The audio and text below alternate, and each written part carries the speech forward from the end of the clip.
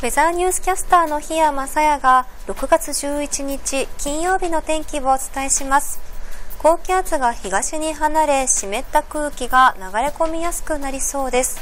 上空の気圧の谷が接近し、西日本はゆっくり天気は下り坂となりそうです。では、天気の移り変わりを見ていきましょう。9時から見ていきます。東日本や北日本では広く日差しが届きます。一方西日本は午後から雨の範囲が広がりそうです。外出の際は雨具をご準備ください。だんだんと遅い時間帯になればなるほど雨の範囲が拡大し傘の出番が続きそうです。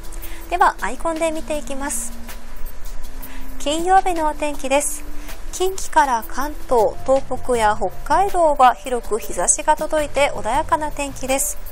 一方、沖縄でしたり、九州や中四国は変わりやすい天気、空の変化にお気をつけください。西日本は午後ほど雨が降りやすくなりそうです。日中の気温について見ていきましょう。上空の暖気が流れ込む北日本を中心に気温が上がります。札幌は30度、旭川は31度の予想です。気温が高くなりますので、熱中症に注意をしてください。以上、金曜日のお天気をお伝えしました。